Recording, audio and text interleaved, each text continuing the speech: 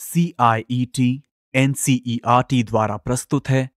कक्षा आठ की गणित की पाठ्य पुस्तक का ध्वनि पाठ। यह अध्याय दो है। एक चर वाले रैखिक समीकरण। पृष्ठ संख्या छत्तीस। दो दशमलव छ समीकरणों को सरल रूप में बदलना। उदाहरण सोलह, हल कीजिए।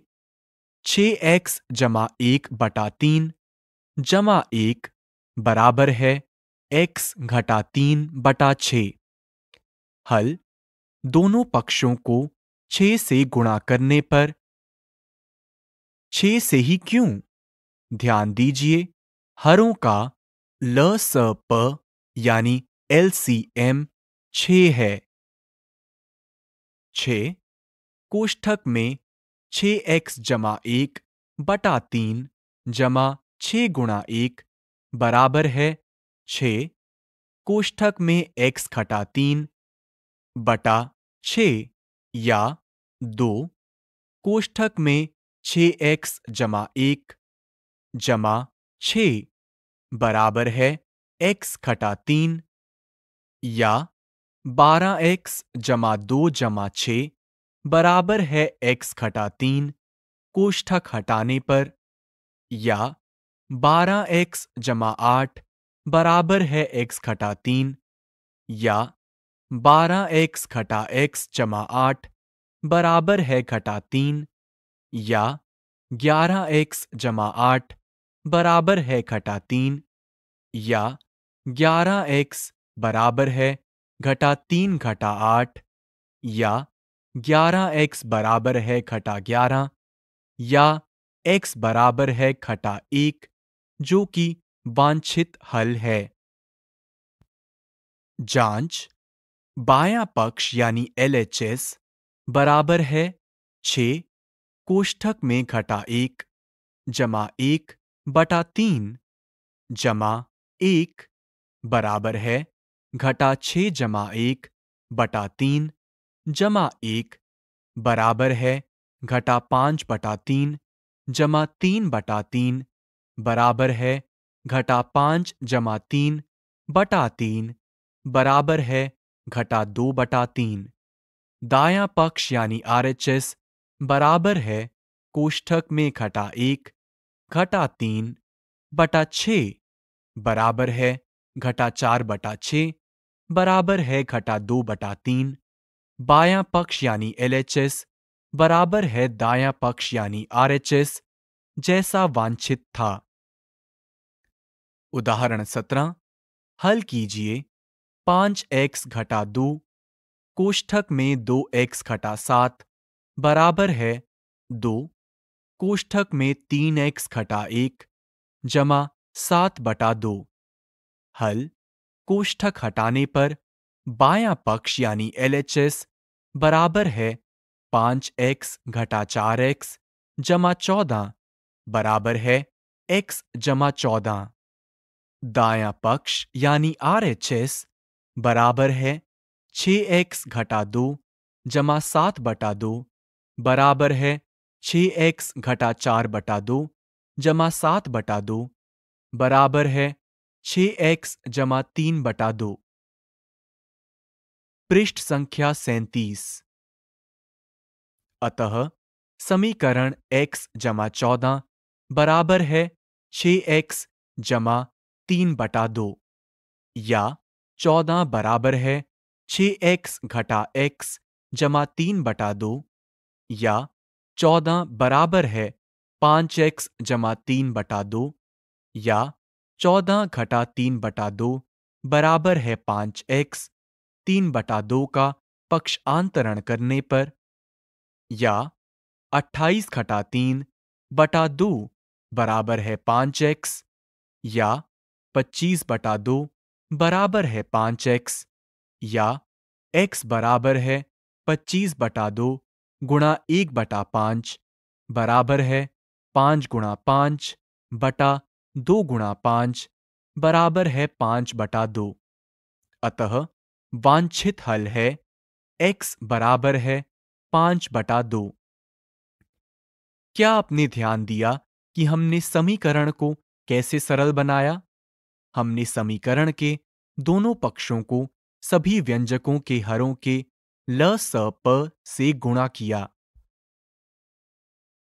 जाँच, बायां पक्ष यानी एल एच एस बराबर है पाँच गुणा पाँच बटा दो घटा दो, कोष्ठक प्रारंभ, पाँच बटा दो, गुणा दो, घटा सात, कोष्ठक अंत, बराबर है पच्चीस बटा दो, घटा दो, कोष्ठक में पाँच घटा सात, बराबर है पच्चीस बटा दो, घटा दो, कोष्ठक में घटा दो, बराबर है पच्चीस बटा दो, जमा चार, बराबर है पच्चीस जमा आठ बटा दो बराबर है तैंतीस बटा दो। दाया पक्ष, यानी आर एच एस बराबर है दो। कोष्ठक प्रारंभ, पाँच बटा दो गुणा तीन घटा एक।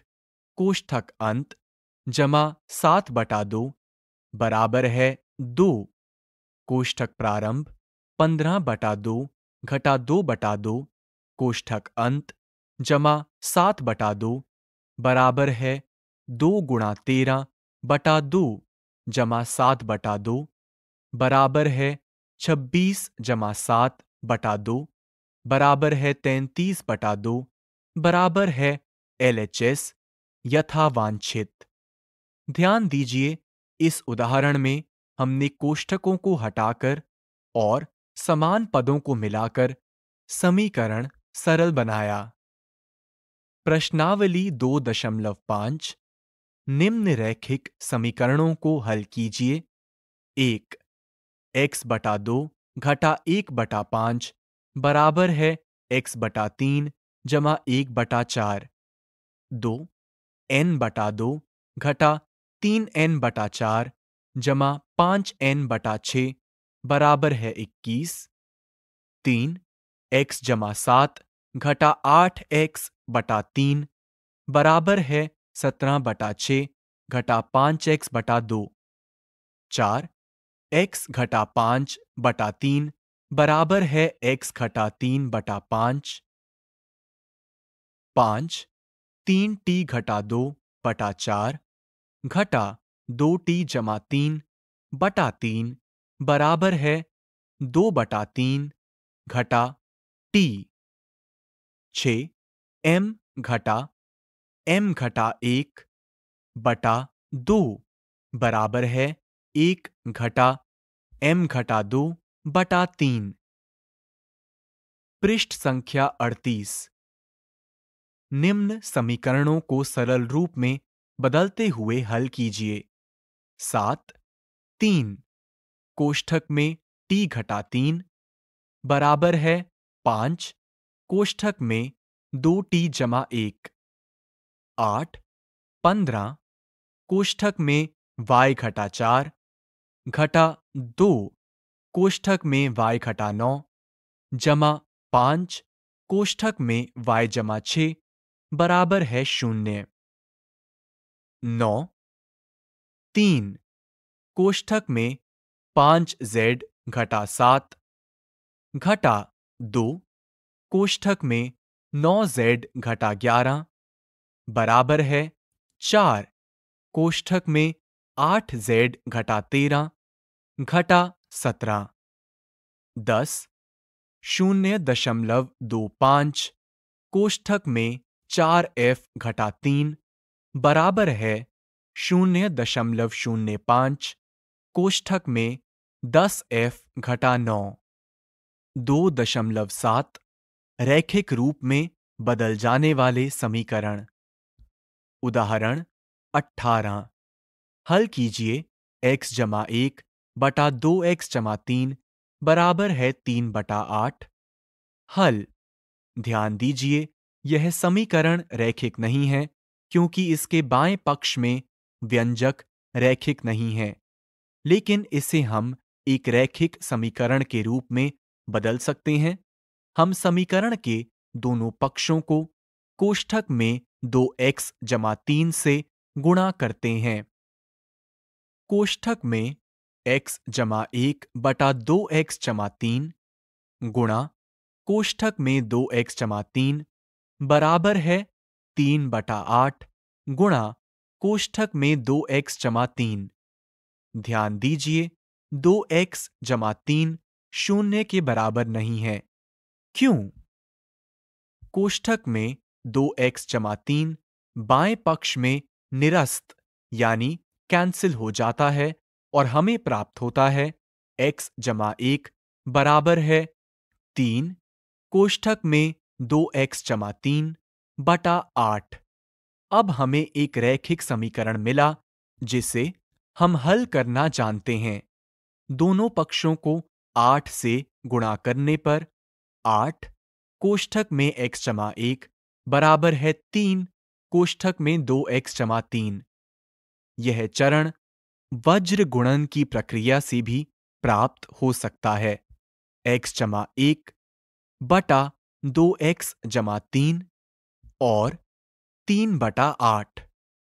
आठ से निकलती एक रेखा एक्स जमा एक की ओर इशारा कर रही है। दो एक्स जमा तीन से निकलती एक रेखा तीन की ओर इशारा कर रही है। आठ एक्स जमा आठ बराबर है छ एक्स जमा नौ या आठ एक्स बराबर है छ एक्स जमा नौ घटा आठ या आठ एक्स बराबर है छ एक्स जमा एक या आठ एक्स घटा छ एक्स बराबर है एक या दो एक्स बराबर है एक या एक्स बराबर है एक बटा दो, अतः हल एक्स बराबर है एक बटा दो। जाँच। बाएँ पक्ष में अंश एक बटा दो जमा एक बराबर है एक जमा दो बटा दो बराबर तीन बटा दो है। बाएँ पक्ष में हर बराबर है दो एक्स जमा तीन बराबर है दो गुणा एक बटा दो जमा तीन बराबर है एक जमा तीन बराबर चार है। अतः बायां पक्ष बराबर है अंश भाग हर बराबर है तीन बटा दो भाग चार बराबर है तीन बटा दो गुणा एक बटा चार बराबर है तीन बटा आठ। अर्थात बायां पक्ष यानी एलएचएस बराबर है दायां पक्ष यानी आरएचएस। पृष्ठ संख्या उनतालीस। उदाहरण 19 अनु तथा राज की वर्तमान आयु का अनुपात चार अनुपात पाँच है। आठ वर्ष बाद उनकी आयु का अनुपात पाँच अनुपात छ होगा। उनकी वर्तमान आयु ज्ञात कीजिए। हल माना कि अनु तथा राज की वर्तमान आयु क्रमशः चार एक्स तथा पाँच एक्स है। आठ वर्ष बाद अनु की आयु बराबर है। कोष्ठक में चार एक्स जमा आठ वर्ष। आठ वर्ष बाद राज की आयु बराबर है। कोष्ठक में पाँच एक्स जमा आठ वर्ष। उनकी आयु का अनुपात बराबर है। चार एक्स जमा आठ बटा पाँच एक्स जमा आठ, जो दिया है पाँच अनुपात छ। अतः चार एक्स जमा आठ बटा पाँच एक्स जमा आठ बराबर है पाँच बटा छ। वज्र गुणन करने पर छ कोष्ठक में चार एक्स जमा आठ बराबर है पाँच कोष्ठक में पाँच एक्स जमा आठ।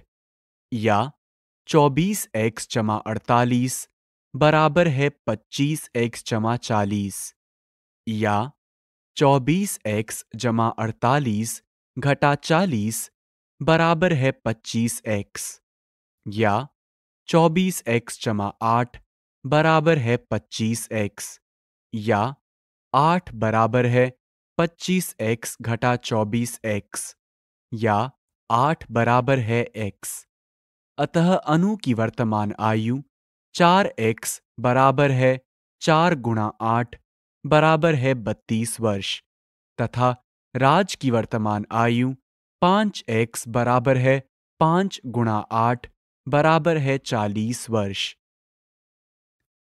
प्रश्नावली दो दशमलव छ, निम्न समीकरणों को हल कीजिए।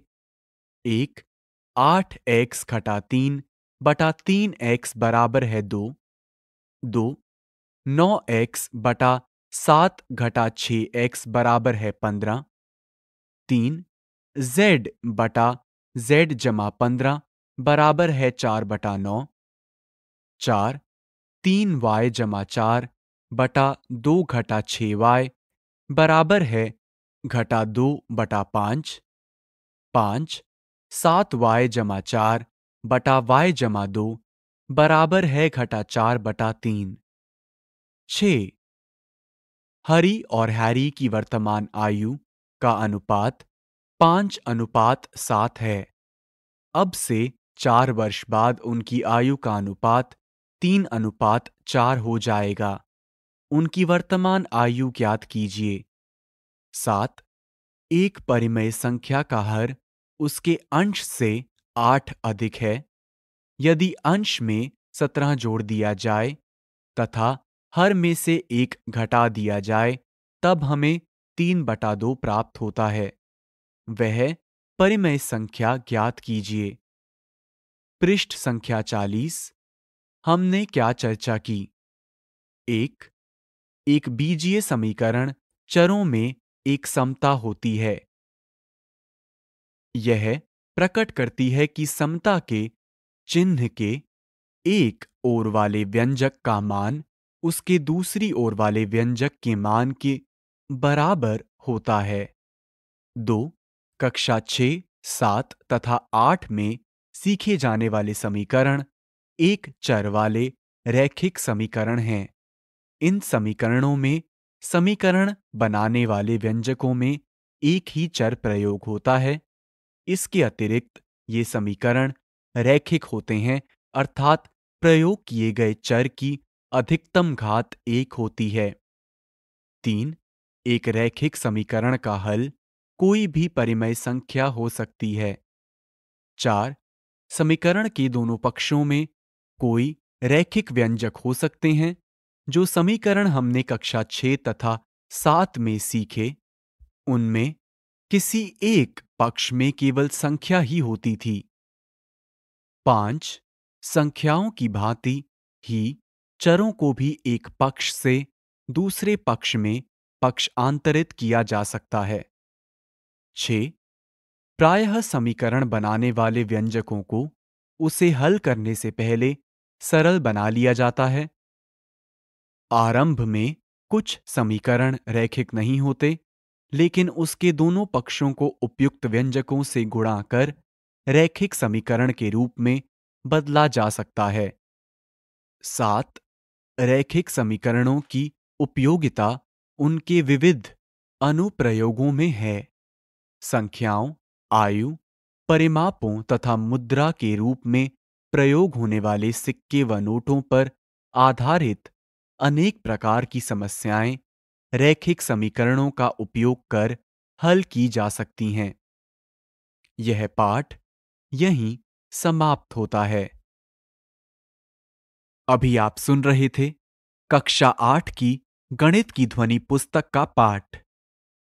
वाचन स्वर, आकाश आहूजा, तकनीकी समन्वयक, बटलैंग लिंगडो, तकनीकी सहायक, मयंक कुमार निर्माण सहयोग, रुचि शर्मा, निर्देशन व निर्माण, विमलेश चौधरी, तथा प्रस्तुति C I E T N C E R T New Delhi, Bharat.